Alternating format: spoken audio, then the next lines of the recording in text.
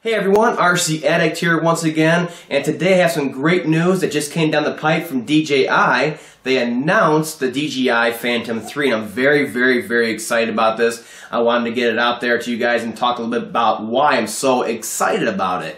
Um, their Phantom quadcopters are like among the best in the world, okay? If you've ever flown one, a kid can fly one, okay? They're that easy to fly, super stable, self-leveling. Uh, they hover in uh, the GPS column lock. Uh, there's just so many great features about them. And then they have these uh, gimbals, these brushless gimbals on them for stabilization of the camera, so you get awesome aerial video of wherever you're at. And they're, they're especially the Phantom 2 series, they're ultra reliable as far as avoiding flyaways and stuff like that.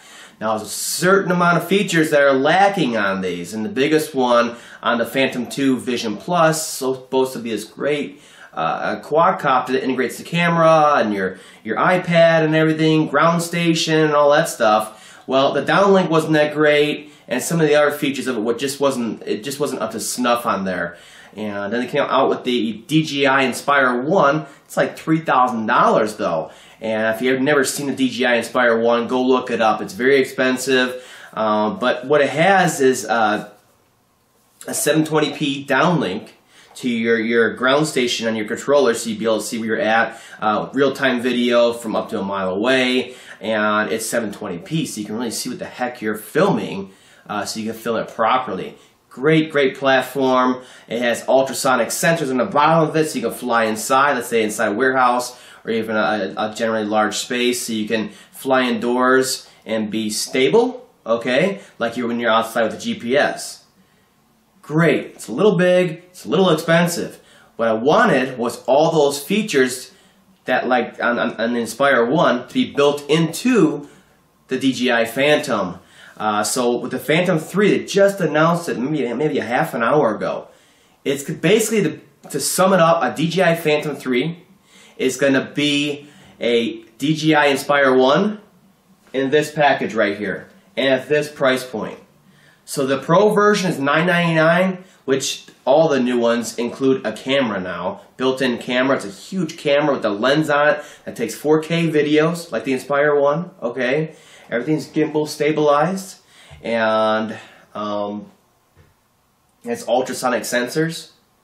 Also, the other thing on the Inspire 1, Inspire 1's great, right? Only has 16 18 minutes if you're lucky of runtime.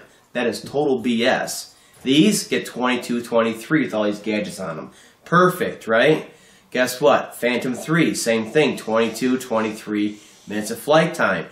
Ultrasonic sensors, 4K camera, 720p downlink, and there's a host of other features on there also. Improved GPS. They're locking on to more satellites now. That's always good. This thing's expensive, right? You don't want to fly away. It has all those locks on, on, on the um, the more GPS satellites, the less of a chance of a flyaway. They've improved uh, uh, circuitry and software, and of course motors. I think I don't know if the blades are new or not. The blades are same like this, where they, they're automatically locking, so that's a nice feature because the Inspire One had some problems with the, the blades flying off, whereas these ones are self-locking. So they brought the self-locking uh, continued onto the Phantom 3 also. Awesome, awesome, awesome. Between that, all the features on it, and the updated circuitry and software and high efficiency motors. And like I said, it gets 23 minutes of runtime. It's absolutely perfect uh, for this kind of platform on there to record anything you need. That 16 to 18 on the Inspire 1 was BS. So I'm very, very excited about it. And the biggest thing is the price. $9.99 for the Pro version, which has everything except the camera is 1080p, okay? And then the, the other version uh, forget what it's called already, the Ultimate or whatever. There's two versions. The the, the most uh, expensive version is like twelve fifty nine. So that's the same price as the DJI Phantom 2 Vision Plus is selling for right now. So the pricing is perfect. The amount of features is perfect. I'm glad I waited. I cannot wait for it to come out. I'm gonna buy one as soon as they come out you know, and just go out and start flying and catch some 4K uh, stabilized video. And of course, the cool part is those ground points. You can make those waypoints on the ground station on your iPad and say go. And now I can watch it in 720p. So I'm very, very excited.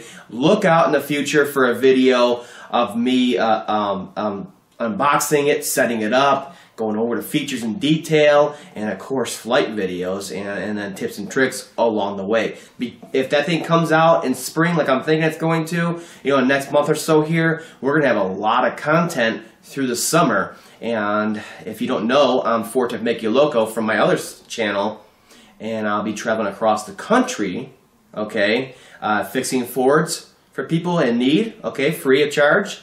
Great, great cause, right?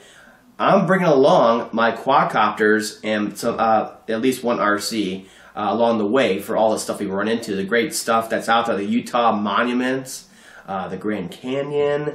Uh, there's a lot of different stuff out there. Montana uh, for climbing at the RC cars and flying around on. I don't. I know the Grand Canyon you can't fly at, but there, there's tons of spots uh, across the U.S. to capture amazing, amazing, amazing uh, footage. So be on the lookout. It's going to get really exciting, uh, especially in the next couple months here.